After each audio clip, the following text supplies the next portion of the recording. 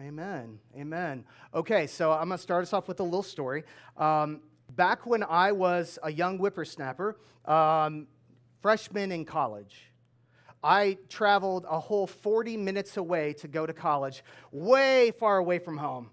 And I went to Illinois State University, and as a freshman, I went in, and God had done this miracle in my heart. Um, I was a real shy kid in junior high and high school, but something just shifted, and I was trying to build as much friendship as I possibly could.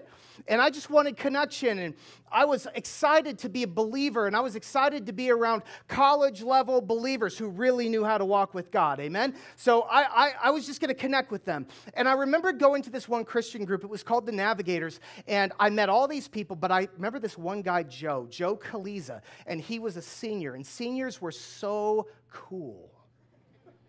And seniors knew everything because they were three years older than me, and I almost knew everything, but they for sure knew everything, right? And so I wanted to hang out with this guy because there was just, there was a way about him when he talked about the scripture, when he talked about the Lord, and I could just tell he loved Jesus for real. And I wanted some of that to rub off on me. And so I remember uh, going and facing him one night at, at this meeting that we had. And, and, and I said, You know what? I'd really like to connect with you. And it wasn't a full blown marriage proposal at the time, but I was trying to communicate that I wanted to be in his circle somehow. And he kind of stopped the conversation and said, You know what? Um, I'm, I'm going to get together with you and we're going to talk about this. And I'm like, okay. And he actually made an appointment with me. And as a freshman, I didn't have many appointments other than the doctor. You know what I'm saying? And, and, and he made an appointment with me and he wanted to talk one on one about it. And that seemed weird and formal, but he's a senior and se- it must be right, right? And so we met and we talked. And I remember him coming in and saying, Josh, you're a great guy, but he said, I just don't have space in my life right now for a new friend. We can't hang out. Sorry. And I gave my engagement ring back, or he gave it back. It was a hard conversation. And uh, I mean, he could have put some softer stuff, I'll say that, into the conversation to help. But how, how dare you? Could I just say that? How dare you? You're a Christian. I have a need. See a need, meet a need. Right? Like if you see, like here I am, I'm asking for help. Don't you have to help? And see, I had no framework for that. I had no framework for a boundary. I had no framework for a no in, in a relationship. It was tough on me. I didn't know Christians were allowed to say that. Here's the phrase we're going to go over today My door's always open my door's always open. In this series, we've been talking about different phrases that our culture uses inside of relationships, and sometimes those things are dysfunctional. Today, it's my door's always open, and we use this in friendship land a bit, and I think it's dysfunctional.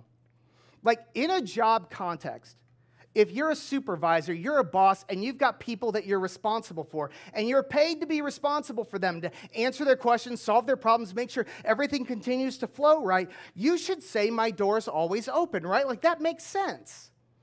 Even as parents with your kids, again, another limited context, you should always be available for them.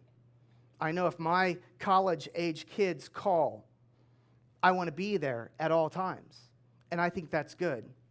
But I think we've taken a business principle and a principle that works in certain contexts, and we've brought it over into our general relationship context, and we think that it ought to work, and it doesn't. My door's always open.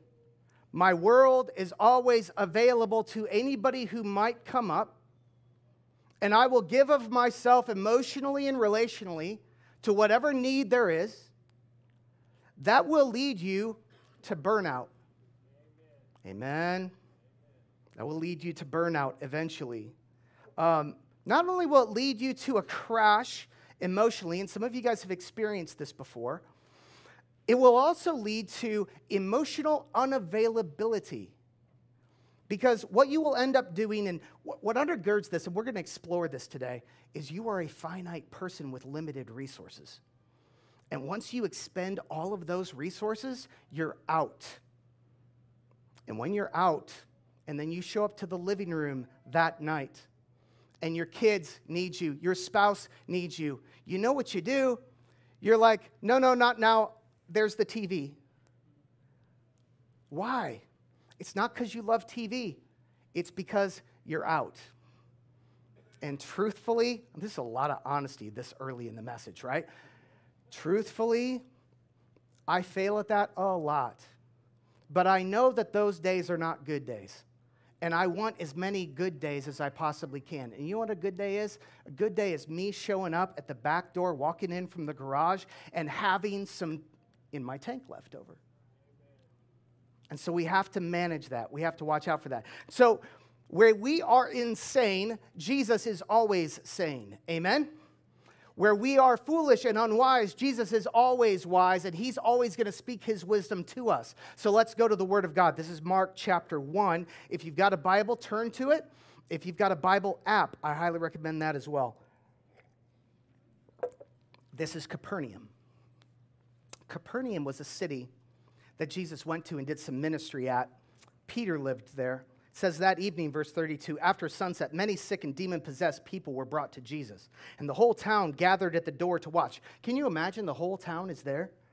And so Jesus healed many people who were sick with various diseases, and he cast out many demons. But because the demons knew who he was, he did not allow them to speak. Keep going, verse 35. Before daybreak the next morning, Jesus got up and went out to an isolated place to pray. And later, Simon and the others went out to find him. Where did he go? And when they found him, they said, Everyone is looking for you, Jesus. Where'd you go? Jesus? Come on, Jesus? Come on. What's happening here? So the movement is building. Jesus' reputation, his fame. Everybody in this town wants their miracle. And the more he does miracles, and they're lined up outside of this house, the more he's doing miracles, the more people figure out, I need my miracle too right? And this was never going to end. This was just going to keep going. And so when he wakes up the next morning, he doesn't get right back to the grindstone, does he? No, he goes off alone to pray. Why? Because Jesus, and this is going to mess with your theology, Jesus had a limited emotional tank when he walked the earth. And when Jesus' emotional tank got full, and you see it all throughout the Gospels, he goes off alone and spends time with the Father. He goes off to rebuild and to restore and to refill. And there's one way that that happens for him, and it's time with God the Father. And Peter shows up at the door like he's in the middle of Jesus' quiet time, for heaven's sake. He's interrupted him. And he's like, everybody's looking for you. And there's so much built into that phrase, isn't there? Where have you been? How dare you, Joe Kaliza, right? Look at what Jesus says next. Verse 38 Jesus replied, We must go on to the other towns as well, and I will preach to them too. This is why I came. So he traveled throughout the region of Galilee, preaching in the synagogues and casting out demons. And, and what it doesn't say there that we need like bolded right now is that Jesus left the town. At that moment, Peter's there saying, Everybody's looking for you. They want more. And Jesus is like, Time to leave. That's hard. Jesus left needy people. Jesus walked away from miracles that could have happened, had not yet happened. This is going to mess with us today. It's going to mess with us, I think, in a good way. Because I think there's some nuance here, but I think we need the nuance because sometimes, I think in our culture, guys, please hear me on this. I think we oversimplify life sometimes to make it more digestible in 30 second YouTube videos. And I think some of what we cut out in the editing room is really critical for wise living. So I'm going to try to make this mercifully a little bit more complex because I think the sanity is there. Jesus loved people. Jesus is full of compassion. Peter tells us it is our Lord's will that none should perish. Our God loves everyone. But as Jesus walked the earth and showed us an example of how to live, Jesus lived a limited life on purpose. And he walked away some of you guys know from the, the Gospels, Jesus only lived three adult years of ministry. Right? You got his childhood and his teens and his 20s. We're not told very much about any of that. And at 33 years old, Jesus dies on a cross. There's three years in between where all of the stuff in the Gospels really happens. And you're like, three years? That's not much, God. Like, if I was setting the Jesus itinerary, I would have given him a little bit more time. Yes? Like, Jesus, if you could have just had five years, not three, you probably could have spent longer in Capernaum and healed everybody. Like, what about 10 years? 10 years, you could have visited a lot more towns. A lot more people would have gotten stuff. You could have even done like financial counseling for people. It would have been great. Why not 50 years, Jesus? Why not 100 years, Jesus? Why such a limited amount of time? Not only that, but why do you have to heal people one at a time? Why not? You know what I mean? It's like it's each individually lays hands on them and stuff like that. It's like that's so inefficient, isn't isn't it? It's like why not just do like splash healing? Why not just like walk up to Capernaum, just wave your hands around, and everybody gets a miracle? Right? Like, why not do that? Like in the Avengers, and I'm a superhero guy, so in the Avengers, you know who the lamest guy is on the Avengers? Hawkeye. I love Hawkeye. He, he's got great personality, but you know what that means, right? Like, Hawkeye, he, he's only got an arrow. He shoots one guy, it's over. But it's like, what happens if you got an army of thousands coming at you? You know Thanos, right? Like, like you, what you need is Thor with the big hammer and it's splash damage. That's what you need. Why doesn't Jesus have splash healing? You geeks in the room. Why not? Because he could have. Ooh, that's the important point. He could have. There were no actual limitations on Jesus. All his limitations are chosen for a reason. Okay, now go to Luke 4, so, this is going to be a second town that he visits after Capernaum. And this is Nazareth. This is his hometown. And this is where he grew up. Okay, so Jesus like grew up in this town. People saw him playing in the street, fighting with his sister, all that kind of stuff. And it's going to mess with their ability to believe that he's God. So look at verse 23. Then Jesus said to them, He's in the synagogue talking to them. He says, You will undoubtedly quote to me this proverb Physician, heal yourself, meaning, do miracles here in your hometown like those that you did in Capernaum. But I tell you the truth, no prophet is accepted in his hometown. Now, for you Bible interpreters out there, you know the clear interpretation of this passage is Jesus is saying, Listen, you're in my hometown, you watched me grow up, you're not going to be able to bring faith to the equation and give God glory in the right way. So then he keeps talking, verse 25. Certainly there were many needy widows in Israel in Elijah's time. Sounds like he's changing the topic. He's not. He's giving them an example. This Old Testament prophet Elijah. When the heavens were closed for three and a half years and a severe famine devastated the land, yet Elijah was not sent to any of them. He was sent instead to a foreigner, a widow of Zarephath in the land of Sidon. And many in Israel had leprosy in the time of the prophet Elisha, but the only one healed was Naaman, a Syrian. So, so Jesus is saying, hey, even with the Old Testament prophets, sometimes they didn't bring all the miracles to their hometowns or even their home countries. And that's what we're supposed to get from that.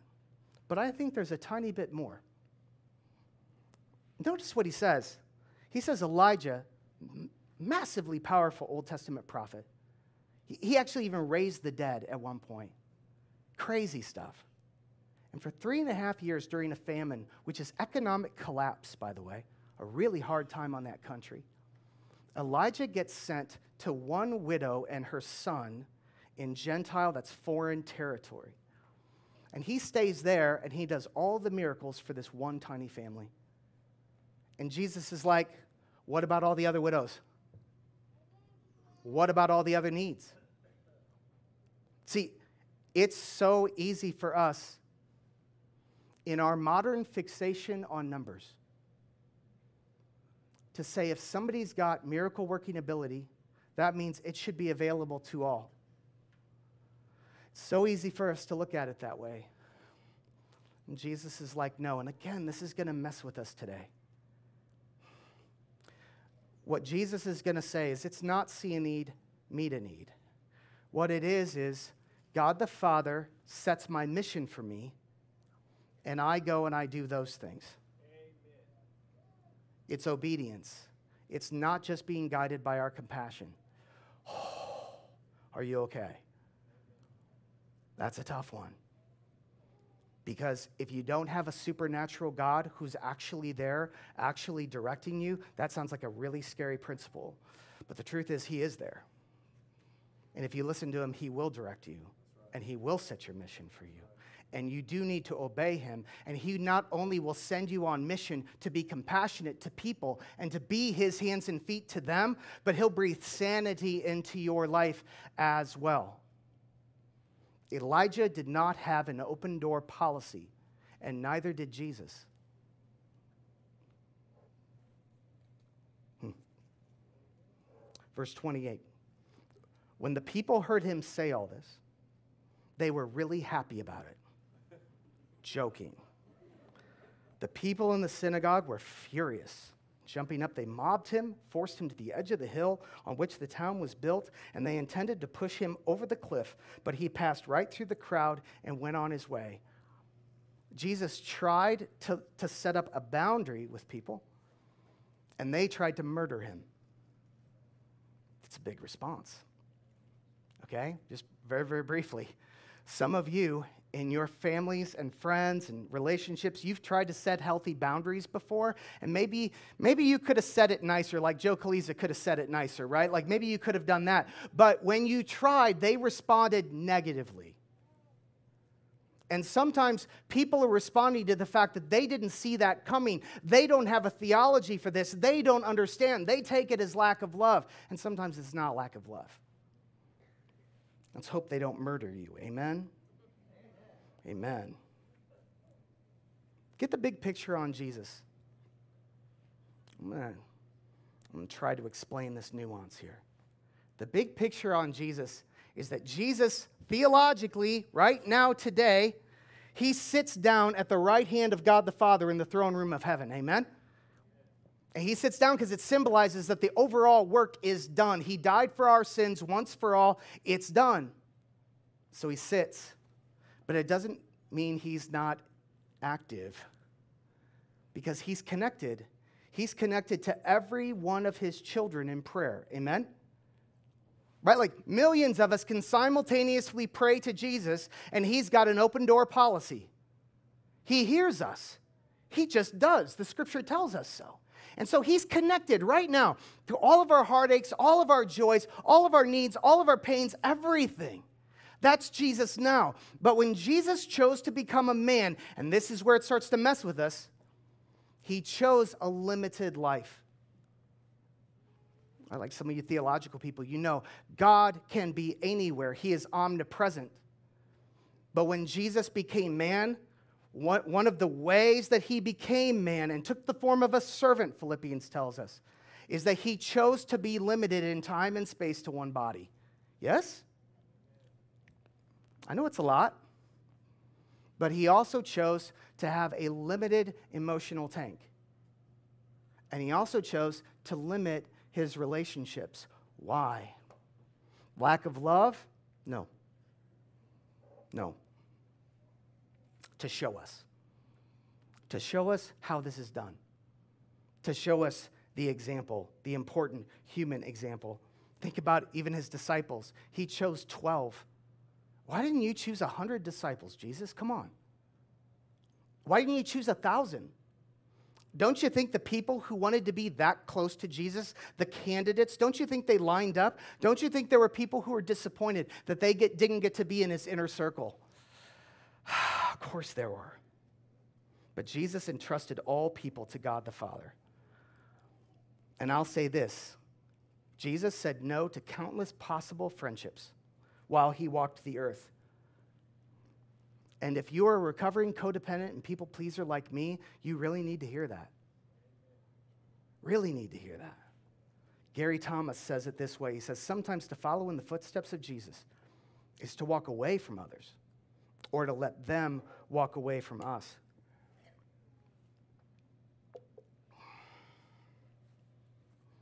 it sounds like the opposite of compassion, doesn't it?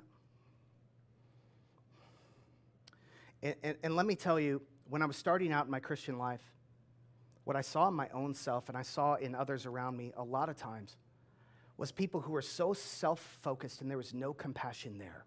Can we be honest about this? Living for themselves. Our culture teaches us that to live for ourselves. And so much about coming to Jesus and seeing his example in the early days is to stop being so self centered and to become focused on other people and to truly empathize with them. And that is a massive shift. And then you start caring for people, and there's excitement, and there's a thrill, and there's joy to it, isn't there? And you start seeing in your life, you're like, this is what Jesus used to do. And it's like, and I'm seeing Jesus in me. Like some of you guys, you, you struggle to know whether or not you're saved. Start walking like Jesus. It helps a lot. Because the more you start walking like Jesus, the more you see your heart start to come alive, the more you get the inner witness. It's like, oh, yeah, I have changed. So it's a shift to compassion, and it's massive. And God, our Lord, wills that none should perish in Peter. So that's all good. But if you've got people pleasing codependent tendencies, you start down that road of compassion and you never stop and you turn it into an open door policy, and you say, Not only will I love people, but I'll love all the people, and I'll love every single person who ever walks up, and then you start to get overwhelmed. And there's got to be sanity, and it runs deep in us. Acts 20, verse 32. Look at this.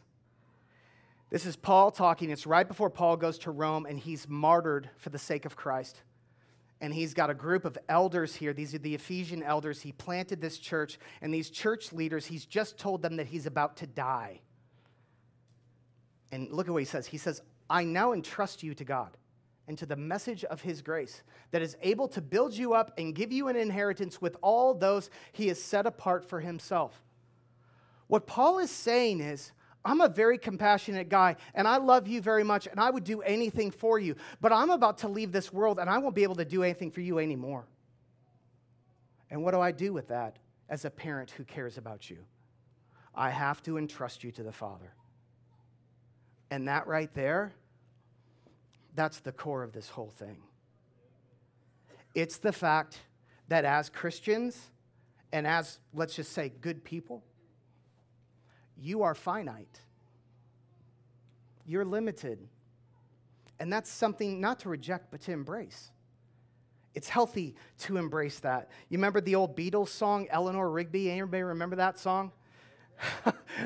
it's about religious people. Did you know that? Eh, Eleanor Rigby. And, and the refrain that they keep singing through the song is, Oh, look at all the lonely people.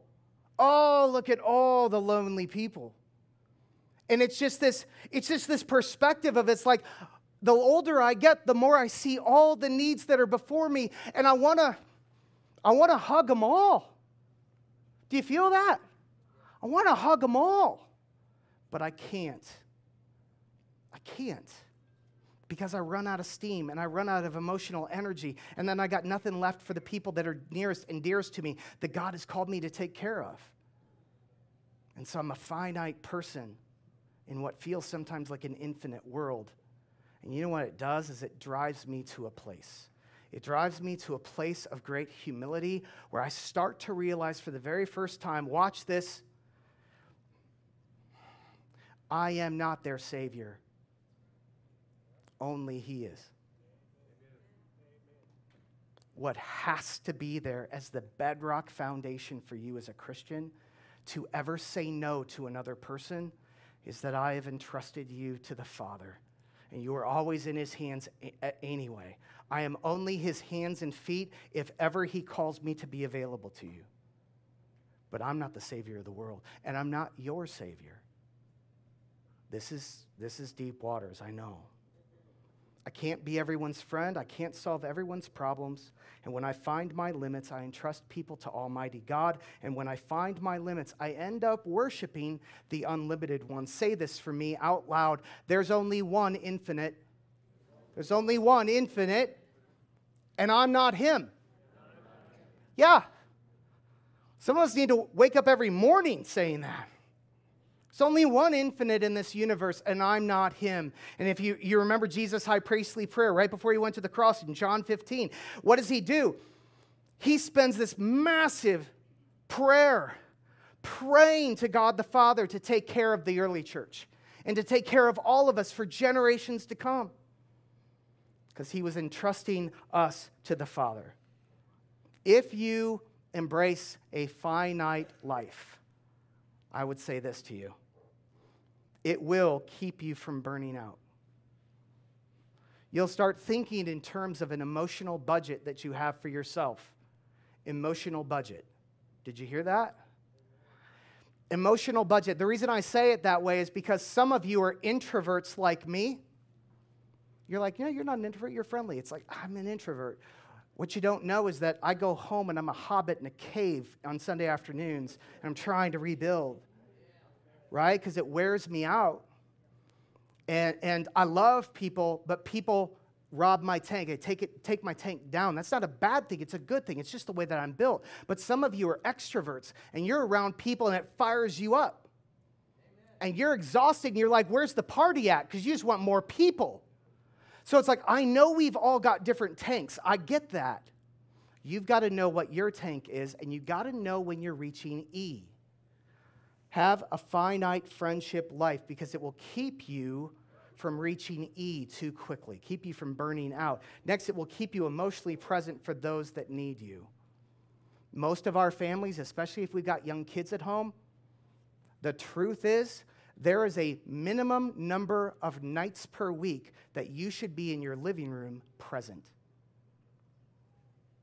for your family to function, for your marriage to function. It's just the truth. And you're like, well, they didn't ask for anything. They didn't ask for an appointment. They shouldn't need an appointment with you. You should be present. Right? And you can be if you're monitoring your tank. Because guess what? This is the way kids work, especially. So does your wife. She won't wait. She won't wait for an appointed moment. It's when she feels it. It's when the little ones, when they feel it and they want to express it. And if you're not present, you'll miss it. Just the truth. Next, keep the lonely ones from getting frustrated. Sometimes we want to say yes to everybody and have the open door policy, and what we end up doing is giving everybody an absolute minimum of us, and it's not enough to sustain them. And you end up starving them in the long run when you really should set that person free right on down the line to get themselves to a healthy friendship. Ooh. Next, forces you to see your limits and to worship God. I am not the Savior, He's the Savior. Say it every single morning.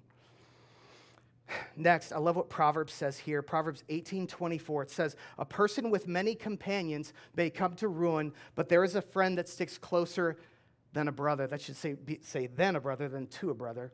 And that's not her fault, that's mine. I make the slides. So notice how the Hebrew poetry there juxtaposes those two phrases you can live a life with many companions, mile wide and an inch deep of relationships. And you might come to ruin. Why? Because when the hard times come, those people won't know how to be there for you. You haven't built that kind of depth with them. But there's a friend. Notice a friend, a few friends that stick closer than a brother. And that's what you need to be about, right? Companion, I love the word companion versus friend there. I'm going to use that just a little bit with us here. How many companions do you have? How many Facebook companions do you have? How many Instagram companions do you have? Right? How many people, how many companions do you have at school and Little League and PTA and all the committees? How many do you have? How many people do you have in the community? How many companions do you have in the neighborhood, the people that you don't like but you still talk to, right? How many companions do you have at church? How many companions do you have at school? Do you see all the circles that you have and all the little connections that you've got? It's probably hundreds. It might be a thousand. I don't know. But you've got lots of them and you can't pour into every single one of them. You won't make it. Blueberry muffins are the best muffins. Okay. Right? I'm a food guy. Blueberry muffins are the best muffins. There's a lot of muffins, and muffins can be good, but blueberry, So here's what happens is you're making the blueberry batter, and that's great. But then you hit this critical decision moment in the blueberry muffin process. How many of the tins do I pour into? Do I pour into, I don't know, 32 tins so that everybody gets a little, what is that, a muffet would be left over? Or do I pour, pour it all into six or even four overflowing, wonderful blueberry muffins? And you know the answer. But our culture doesn't understand this. And our culture says, no, no, no, it's got to be everybody. It's got to be everything all the time. And we're constantly spread, spreading ourselves way, way too thin. And we don't understand why we don't have the relationships our parents and grandparents did. we focus. Um, guy named Todd. I've told this story before. Todd and I had a relationship, still do, still good friends. We had this agreement anything ever happens with my family, I can call you, you're going to come now. And anything ever happens with your family, you can call me, and I'm going to come now. I can't do that with 100 people, but I did with Todd. And when you do that with one person, right? And then Jake had to go into the emergency room one night, and we had uh, Davy was just a baby, and she's in a crib. I call Todd at three in the morning. And I'm like, you got to come over across town, man. Sleep on my couch. And he comes walking in, groggy and tired, and sleeps on my couch and protects my baby girl while mom and I take son to the ER. Who's going to do that for you? a guy named Jason. And Jason's this wonderful guy. And we got close and he could tell me truth. And there was this time where Linda and I were driving on the highway. And I was driving and she was the passenger. And, and while that was happening, there was this uh, motorcycle was, was in the lane in front of us. And I'm driving up a very respectable distance from the motorcycle, very safe distance. But Linda didn't think so. And she was wrong and I was right.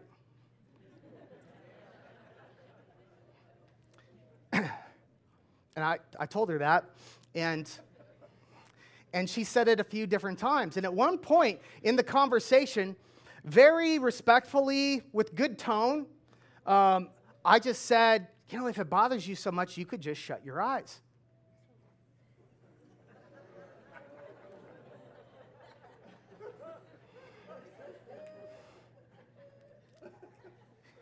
if you're not yet married, that was a bad idea.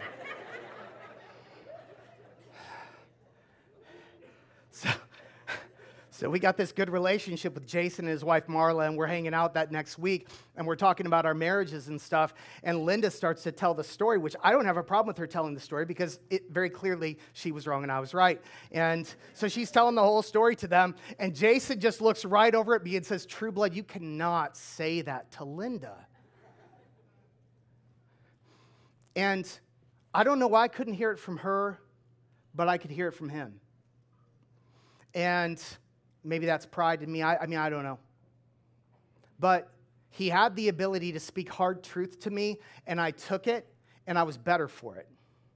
How many people in your life can look you dead in the eye and tell you hard truth about yourself? Right? You're not going to get Todd on the couch or Jason telling you the truth with 32 muffets from your batter. You're going to have to invest and it's going to take time and there's going to be failures along the way. And some of you have been through that and you've had failures before and you didn't like it and i totally get it i totally understand. But you're going to have to be courageous again. You're going to have to try again. You're going to have to invest in friendships that may not work out may not turn into a todd or a jason. But you're still going to have to try because it's worth it.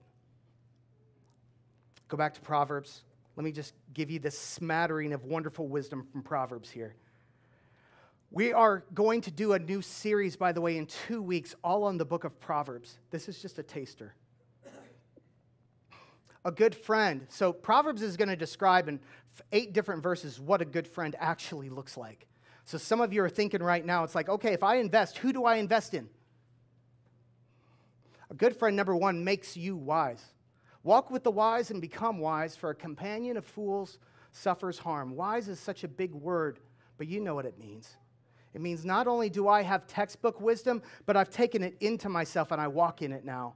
And when you're around those kind of friends, they make you better. You should be around friends and investing in people that are making you better, making your relationships better. Next, they aren't after your stuff. You've had people in your life before, and what they were after was they were after something you had. They were after your money. They were after your house. They were after your boat. They were after your membership. They were after your influence or your title or whatever. In high school, everybody's after your popularity, right? And if you're not popular enough for them, they go to somebody else. We know that whole game. We are used to friends who want something from us. Proverbs is like, nope. Look for friends who love you for you. That's what you want. Next, a friend that isn't angry some of the people in our life, they're just always angry.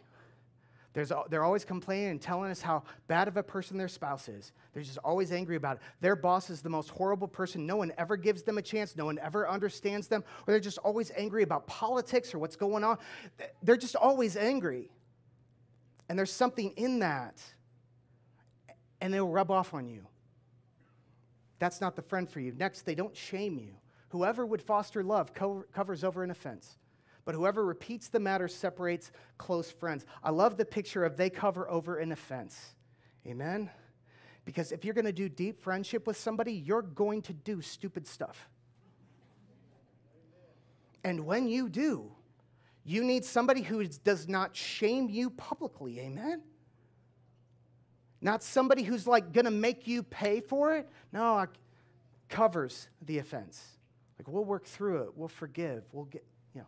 Next, keeps your secret. A per- perverse person stirs up conflict. A gossip separates close friends. If I share something deep with you, you've got to keep it for me. You can't share it with anybody else. Just destroys trust. The next one loves you in the hard times. Friend loves at all times, and a brother is born for a time of adversity. I love that.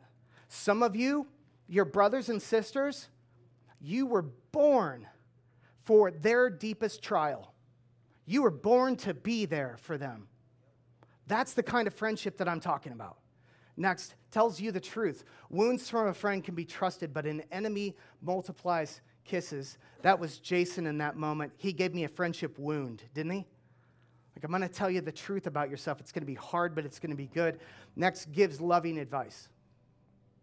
Perfume and incense bring joy to the heart. And the pleasantness of a friend springs from their heartfelt, their loving advice.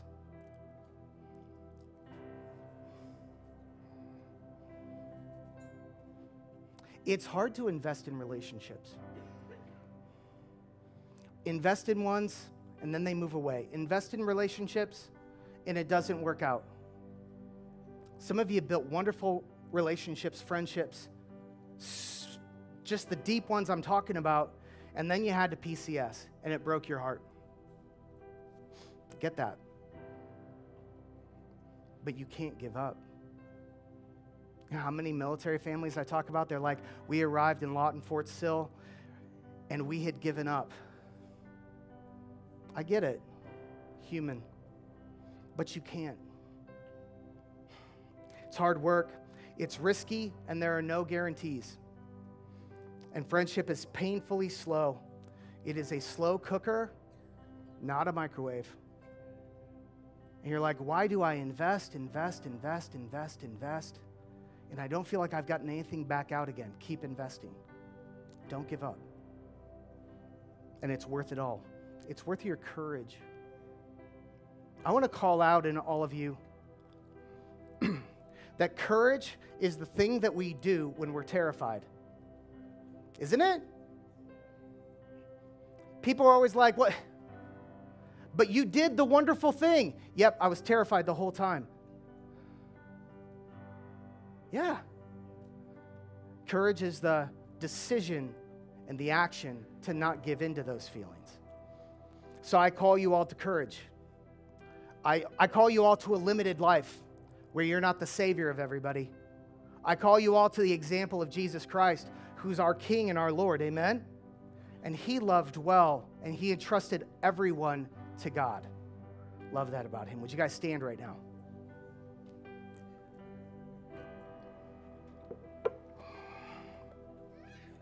I know there's a lot of movement going on because people are getting baptized and they're all moving to that side of the room.